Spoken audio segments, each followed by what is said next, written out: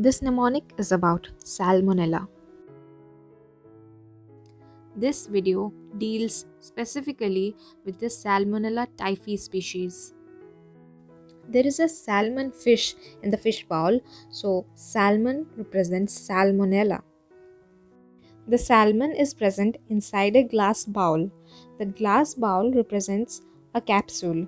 So Salmonella typhi has a capsule having VI antigen. Like the salmon fish, which can swim and move, Salmonella is also motile. As you can see, the fish bowl is kept on a black table. The black table represents formation of black colonies on TSI medium and the black color of the colonies is due to the production of H2S gas. So Salmonella produces hydrogen sulfide gas in the TSI medium or the triple sugar iron medium. You can see a lemonade on the table and since lemon is acidic, it tells us that Salmonella is acid labile, hence it is easily destroyed by the gastric acids in the stomach. Therefore, there is a need of a high dose of Salmonella to produce infection. You can see a boy is watching the fish which represents that Salmonella typhi is transmitted only in humans, unlike the non-typhoidal Salmonella which is transmitted in the poultry. The thermometer represents that Salmonella typhi causes enteric fever or typhoidal fever. The red spots on the boy's shirt represents rose spots seen in enteric fever.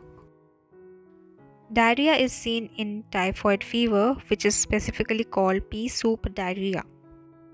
The boy has been served a green soup, which represents pea soup diarrhea seen as a complication in enteric fever. Live attenuated vaccines are available for typhoid, which is represented by this injection. Salmonella typhi grows abundantly in the gallbladder.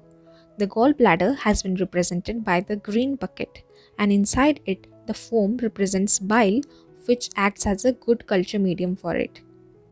The bucket is there probably to clean the mess maybe created by a cat. So you can see fish bones lying on the ground. You can see some blood with the fish bones. It represents that salmonella is associated with osteomyelitis in sickle cell anemia. Lastly, we come to the treatment which is done with fluoroquinolones, which is represented by flowers beside the fish. Besides all this, you must remember the steps involved in lab diagnosis of enteric fever caused by Salmonella typhi. For this, remember the mnemonic BASU, which stands for blood culture, which comes positive in the first week, then agglutination test, which is the Widal test, which comes positive in the second week, then comes stool culture, which comes positive in the third week, and then urine culture, which comes positive in the fourth week. That's it.